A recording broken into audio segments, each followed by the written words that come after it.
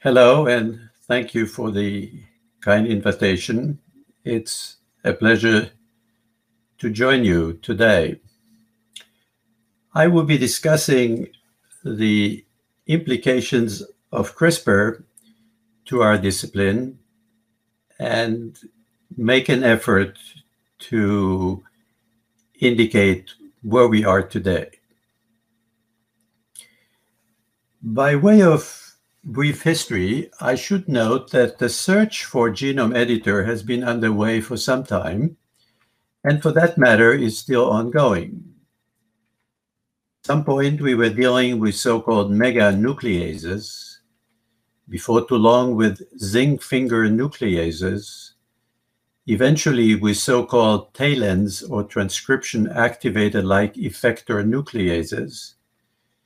And then, of course, beginning in 2012, we were introduced to CRISPR Cas9 and its congeners. CRISPR Cas9 as an endonuclease stands out in terms of its targetability, fidelity, malleability, and versatility. It allows us to repair multi-base mutations, but that requires the generation of a double-strand DNA break, which inevitably will be subjected to homology-directed repair, or HDR for short, which in somatic cells likely will require an exogenous DNA template, and in the zygote, possibly could rely on an endogenous wild-type allele. The double-strand DNA break, however, prompts a cellular repair mechanism known as non-HDR DNA repair mechanism, which is in short known as NHEJ, which gives rise to small stochastic on-off target insertions and deletions, also known as indels, and to large on-target deletions and complex rearrangements. That is, of course, a challenge. To repair single-base mutations, we generally can avoid double-strand DNA breaks by using so-called base editors, which have the capacity to convert CG pairs to TA counterparts or AT pairs to GC counterparts. Altogether, as I have already implied, the CRISPR challenge is mostly about efficiency of editing, specificity of editing, and the uniformity of editing. Which brings us to editing the human germline and, of course, to our discipline. What is the objective of germline editing? Well, the objective is, of course, to prevent disabling, and life-truncating monogenic maladies. This is sometimes referred to as remedial germline editing. This also has sometimes been described as the conversion of chance to choice. This is, of course, a lofty goal, which in principle could rid humanity of the so-called monogenic scourge. What universe do we generally have in mind? Surely we do not have in mind to edit all the 10,000 or so human monogenic disorders that are currently listed in the online Mendelian inheritance in men. Instead, we are likely to focus on edit suitable maladies such as peri and postnatal situations where peri and postnatal medical therapy is infeasible, where peri and postnatal somatic editing is ineffective, when PGD is inutile and in fact gives rise to a rate-limited embryo complement, and when the target allele is highly penetrant, singular, and ideally CRISPR accessible. If we ask ourselves today, what is the state of the art? the answer would have to be nascent. And I'll come back to this point later. You can think of it as so near and yet so far.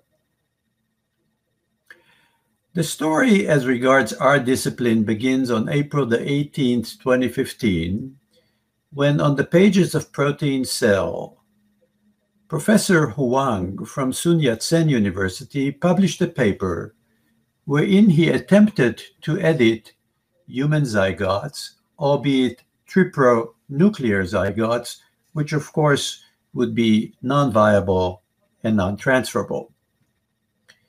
He focused on the beta globin gene and secured low editing efficiency, minimal editing specificity, and limited editing uniformity. Hardly a major scientific success.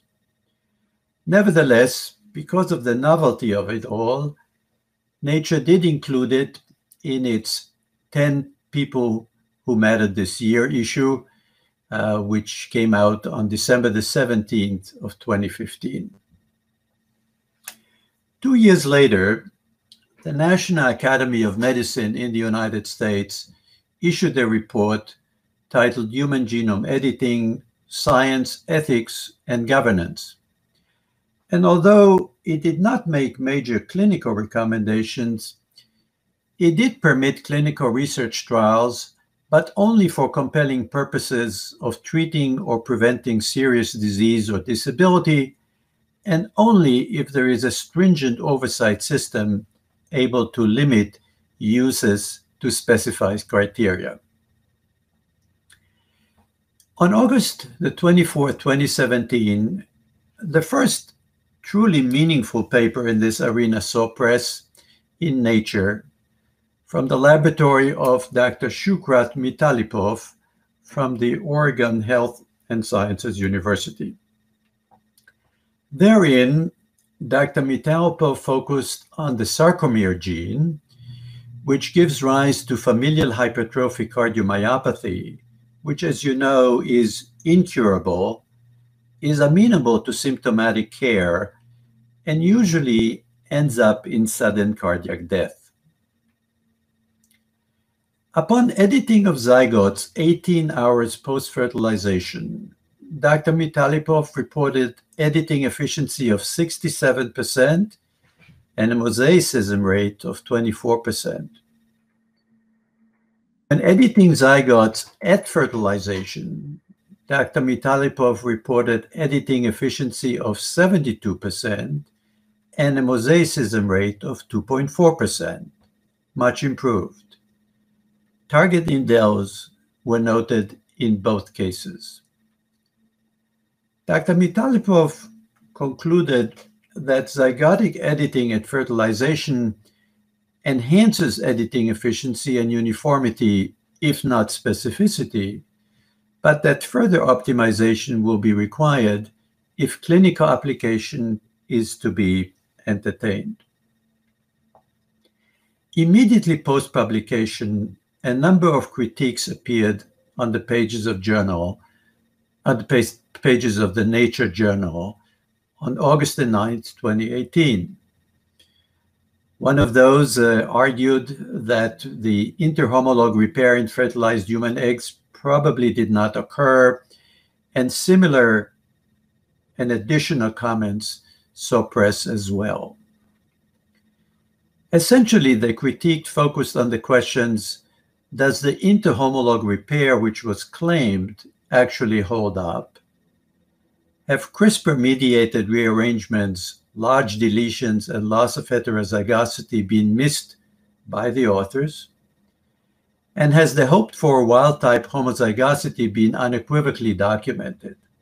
In other words, the paper left us with all kinds of uncertainties which had to be resolved later. Last year, the report came out from yet another commission, this time a commission that uh, was made up of the National Academy of Medicine and the Royal Society of the United Kingdom.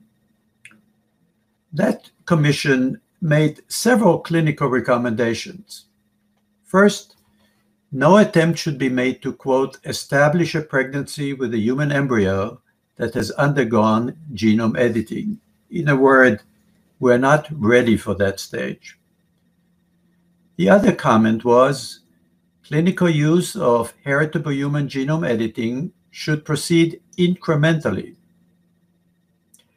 Clinical use of heritable human genome editing should be limited to serious monogenic diseases, and clinical use of heritable human genome editing must guarantee impeccable editing efficiency, specificity, and uniformity, as well as euploidy and appropriate embryonic development. In a word, a very cautious report of the commission in question. As if to affirm the recommendations of the commission, a paper saw press later that very year, on December the 10th, 2020, in the journal Cell. The paper came from the laboratory of Dr. Dieter Egli at Columbia University, who studied the editing of human embryos.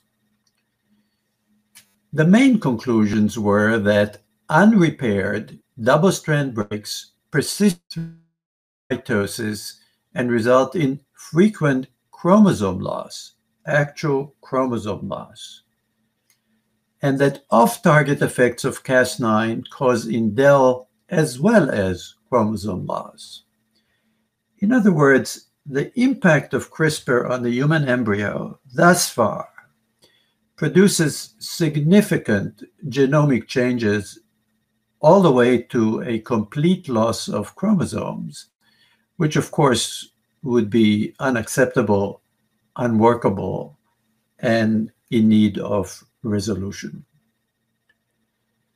Several other papers have also been posted on a preprint server that deal with the risks associated with the editing of human embryo with current technology. One was from the work of Kathy Nayakhan from the United Kingdom, and another one was from Dr. Mitalipov, yet again, from Ohio, I'm sorry, from Oregon Health Sciences University. Neither of these paper has been reviewed yet and or published, or at least there is no public record at this time of these papers.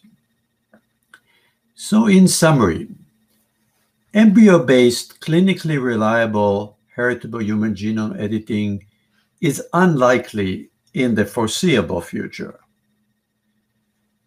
Gamete-based heritable human genome editing using cultured stem cell-derived eggs or sperm may well prove to be the preferred route forward because it would provide for a far more controlled environment.